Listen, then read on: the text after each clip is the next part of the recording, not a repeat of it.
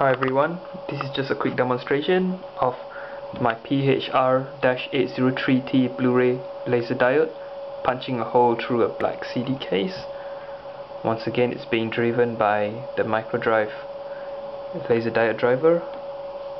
My input source are three CR123 batteries putting a total of 9 volts and I've configured a driver to drive the laser diode with 107 milliamps.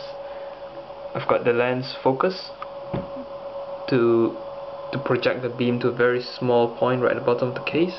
And I'm going to turn the diode on right now. There we go. You see the lens focusing the beam there. And let's wait in the back.